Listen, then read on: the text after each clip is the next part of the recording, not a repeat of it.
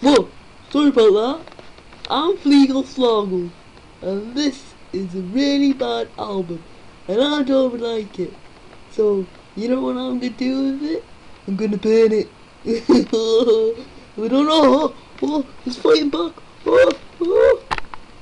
I've got no head. What am I gonna do? Retard. Mummy!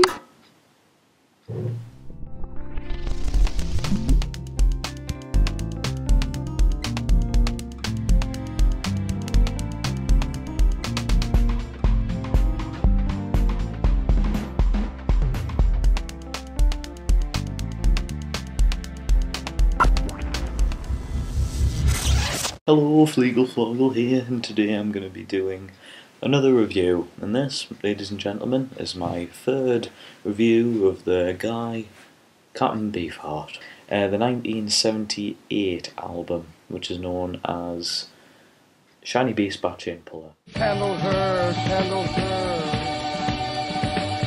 While your lights are spinning.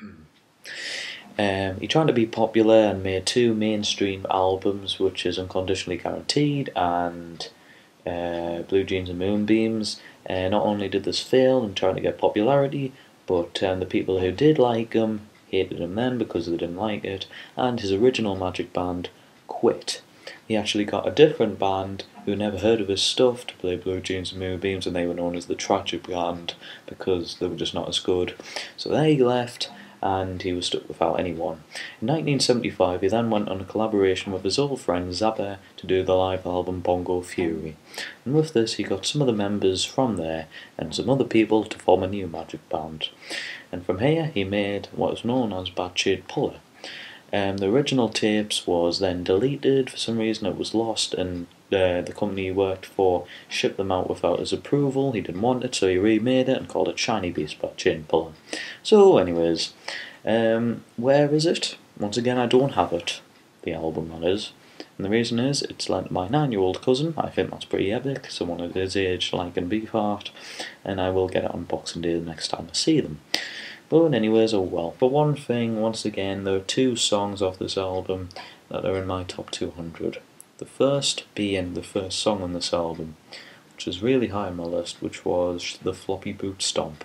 I could talk ages for this. Honestly, it's just it must have been so great for these people who were like disappointed with the other two, and then they heard, hmm, he's supposed to be getting back to his usual standards, and then they would have been blown away. Honestly, it's just got everything that you want. Plus, it sort of feels like the whole album a bit still getting a bit of it. It's hard to explain. Like it's still a bit poppy, but it's still bringing back the experimental, weird, funny stuff that Beefheart done, and this is easily shown in the first track, the Floppy Boot Stomp. The lyrics is about a hoedown with a farmer against the devil, and he does the hoop do hoedown, and the lyrics are just absolutely brilliant. Just like um, that old bum was sticking out of his phone when the farmer drew up, said, Listen, son, and the horse compared his hooves. Oh dear. And pretty clever lyrics like, um, the, the devil's tail once went red, now was pale and just brilliant. I love the drumming on it. The guitar is just really weird and just jumping in different stereo forms. I love the horns that are played, and also love, um, which never really happened, the the people playing actually come in as backing vocals in here, and I think that's just great. And at the end, he actually sings with them, and you know, you're just used to him being on himself, and just everyone together as a proper kind of band. It's just, I think it's brilliant. And um, we're on talk about the second track, which is also a fan's favourite, I think, which is uh, Tropical Hot Dog Night. And just the guitar is so happy and jumpy and jaunty, and I love the horn in it as well. And I think this is another thing that's epic about this. And this is because people are probably thinking of Trout Mask Replica, and he's just playing, he's just playing really weird free jazz, and it just sounds horrible at first listens. But on this, it's just so tuneful, so so well played, and it just sounds like he's played it for ages. He's just real constructed into something that you would expect from a proper horn, and I think that's great. That, and again, um, lovely lyrics from this song, and it's just a great. It's just joy to listen to. I'm just gonna run through my other favourite songs.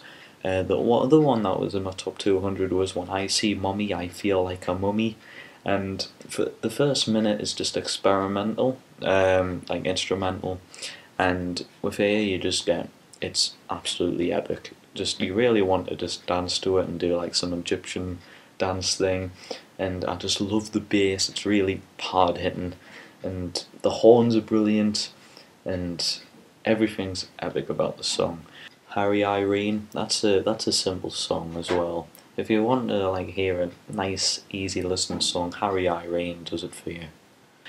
And same thing goes with Candle Mambo. It sort of fits in. I sort of think of the love kind of songs that you done uh, back in 1972 or three with um, Clear Spot. The love songs off there, like um, My Head Is My Only House Unless It Rains. Just really nice, peaceful songs, and it's just again really uplifting. Just his poetry is just brilliant. Like um, candle rolling, ball and ball, candle blur, candle whir, candle her, candle her, and just I love the songs. There's so many songs I love. The title track is also an epic song, I have to say as well. Um, he got this idea from needing to think of some sort of percussion structure. So he went to in his car, driving in the rain. He had to stop for a train to pass, and the windscreen wipers were going on, and that that's the percussion. He went back and told the drummer to get the cymbals and play it like that. This is brilliant. And I also like on here um, the sort of uh, have fun doodles with uh, synthesizers. And this is really apparent with the title track. With like the, it's just like really, it's a it's and it's really weird, but that's what I love about it. It's just interesting how he's using more modernized kind of instruments and sort of taking them apart with here. And like I said, Dr. Radar Station, he even uses more like violins and stuff like that. Any bad tracks? I don't know, there isn't really. There isn't any. Um, I suppose the one that you could class as bad is the last track, which is called Apesma. This is a 40 second spoke, um, spoken word kind of thing, and it's just him doing that, but it's a, it's pretty funny and pretty dark as well and there's only 40 seconds, you cannot complain. So I wouldn't like pay 99 pence off iTunes to get Apesma, I'll just say that. There's an instrumental on here which is called Ice Rose, maybe that goes on a bit too long. Um, maybe the, some of the songs might go on a bit too long, that's basically it, there isn't anything that bad. And that's all I can say really. I love this album really, I really do. Most people say, oh, you should start with this album. It's got a great mix of experimental stuff but easy listening. Don't. Some people say to start with Clear Spot. It's an easy in. Don't. What I do is do what I did. Start with um, Safe as Milk. Then go on to Trout Mask. If you can make that good of a jump, get used to Trout Mask and sort of think this is what Captain Beefheart is. Then have your mind blown when you listen to this album. That's just what I do, okay? And that's basically it. Overall, I'd give this album 9 out of 10. It's absolutely brilliant, really recommended, and I hope you get it. But, hey, thank you very much for watching. Hope you join us next time. See you later. Bye bye.